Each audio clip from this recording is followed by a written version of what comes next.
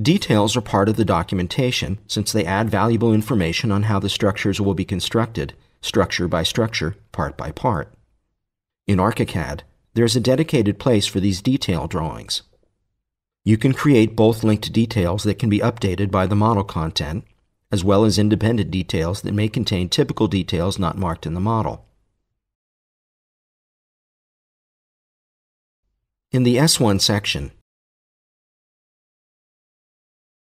activate the Detail tool in the toolbox, and open the Detail Default Settings dialog.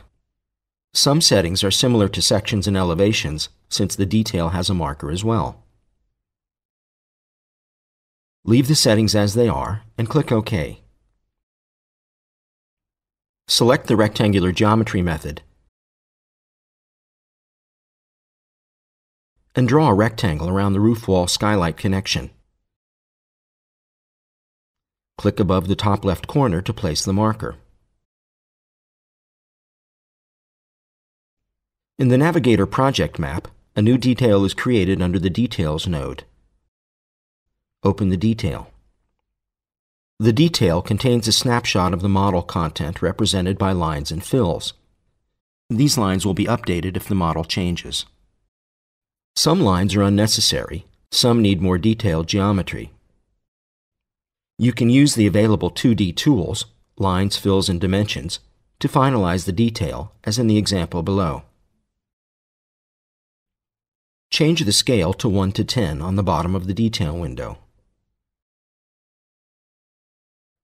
To be more consistent, use building material-based fills. Open the Fill Default Settings dialog. By clicking on the arrow in the Fill Type button at the top, we can see the types of fills.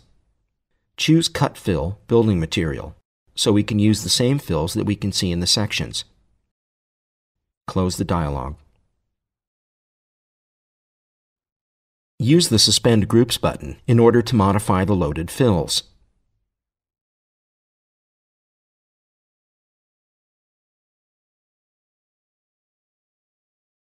Change the cut fill of the timber structural material to wood 45 in the Building Materials dialog.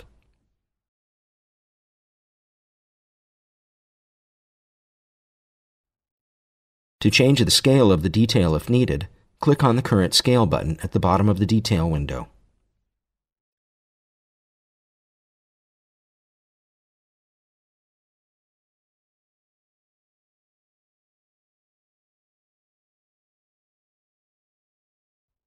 If you merge external content, such as a DWG or a PDF file, as details, which are not represented in any of the sections or floor plans, you can create independent details.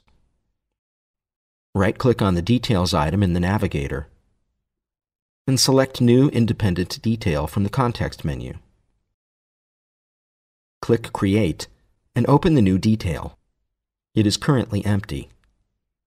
We can use the Drawing tool to place a PDF showing the pocket door. After activating the Drawing tool, click into the Work area so that the Place Drawing dialog appears where you can select the PDF.